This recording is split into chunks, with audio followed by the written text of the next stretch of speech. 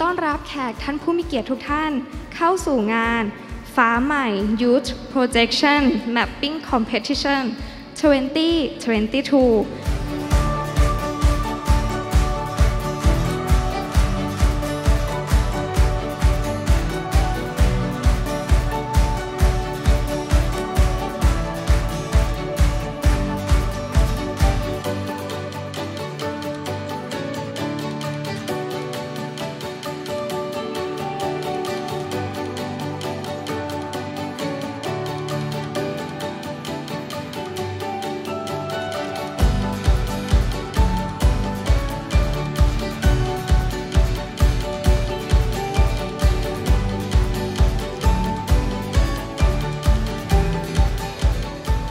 ดิจิทัลอาร์ตเอาเข้าจริง ๆ แล้วก็เป็น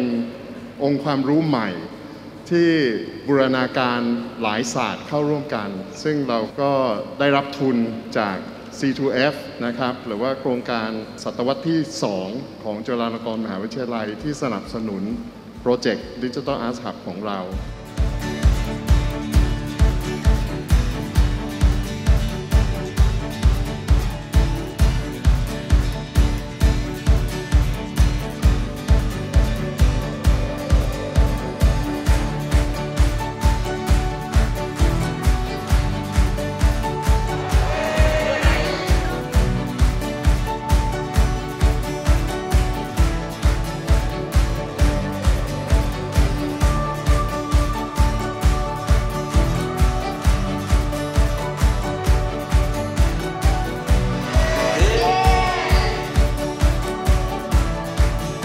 ก็รู้สึกแบบแปลกใหม่มากครับ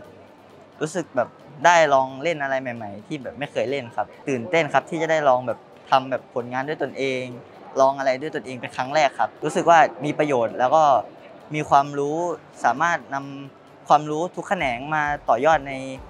ผลงานครั้งนี้ได้ครับ ตอนแรกก็เคยเห็น projection mapping อะค่ะ แต่ก็รู้สึกว่าเป็นงานที่ใหญ่มากๆ พอได้มาลองทำจริงๆ ก็รู้สึกว่าเป็นงานที่ค่อนข้างจะละเอียดอ่อนนะคะ ต้อง เข้าใจหลาย ๆ จุดทั้งตัว architecture ด้วยหรือว่างานที่เราจะต้องนำเสนอออกไปด้วยค่ะว่าทำยังไงถึงจะกินใจกับคนดูอะไรเงี้ยค่ะ ก็รู้สึกว่าเป็นโครงการที่ดีมากๆค่ะก็เลยรู้สึกว่าน่าจะลองมาทำกับเพื่อนๆดูก็เลยสนใจสมัครมาทำว่า เพราะว่าเป็นอะไรที่แบบว่าดูแปลกใหม่มากๆค่ะเอ่อนักเรียนมัธยมต้นมัธยมปลายมีทักษะ